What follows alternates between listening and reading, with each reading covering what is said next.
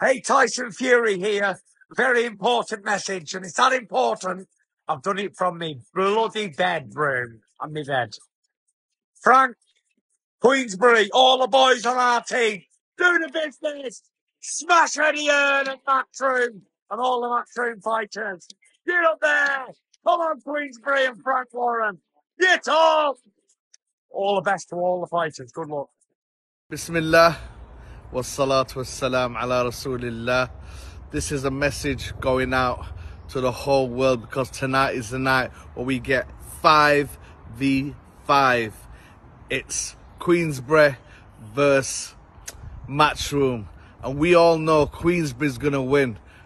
Frank's team is going to win. All the best to Frank's team, Queensberry. I just hope you pull it out of the bag and smash Matchroom up. Queensberry, baby, all day, every day. Peace. I'm out.